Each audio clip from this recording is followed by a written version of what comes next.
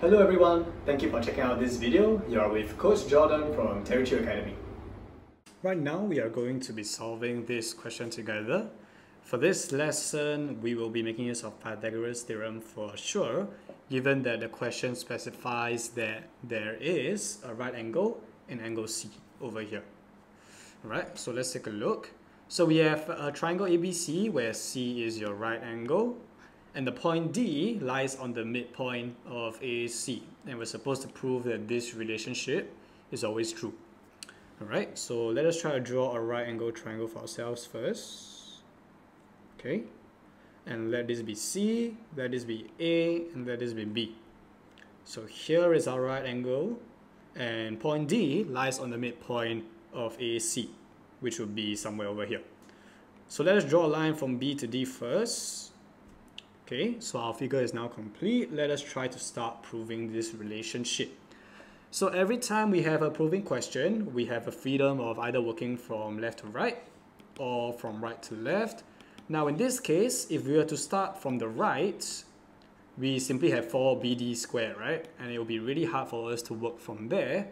So over here, starting from the left would be more advisable since we have two different variables, which we can try to draw some link between them. Alright, so therefore, by Pythagoras theorem, all right,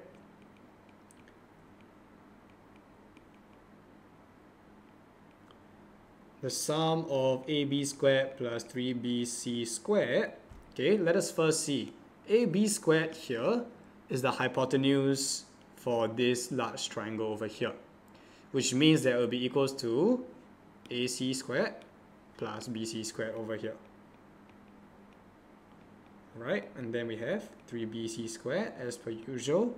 And now since we have 1bc squared plus 3bc squared, that gives us 4bc squared. Alright? So ac squared plus 4bc squared over here. Now, we want to keep in mind that BD is going to be our end goal. And right now, as our expression stands, we haven't really introduced D yet, right?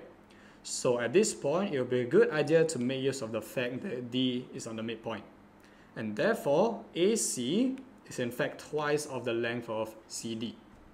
So therefore, we could write this as 2CD whole thing squared plus 4BC squared. Expand this out, we get 4CD squared plus 4BC squared. And at this point, we could factorize out the 4, so we have BC squared plus CD squared. And based on the figure that we have drawn, BC and CD, since both of them are perpendicular, by Pythagoras theorem, BC squared plus CD squared should give us the hypotenuse squared, which would therefore be BD squared. And hence, if you look back at the equation that we're trying to prove, we started off from the left-hand side our end goal is to try to see whether it is equal to 4bd squared, which we have done so right over here, and therefore this has been proven. So over here, Pythagoras theorem is actually the only concept that we need to understand. Alright, and keeping in mind that 4bd squared here is our end goal. We have completed this lesson.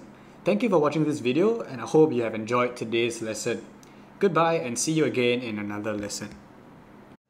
If you would like to learn more from these tutorials, please smash that like and subscribe button.